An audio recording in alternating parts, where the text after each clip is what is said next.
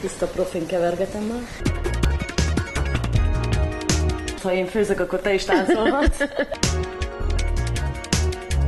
Ups. Igen, hát ez a pecsételt kötények napja, kérem szépen. Most sikerült háromszor összepecsételnem magam.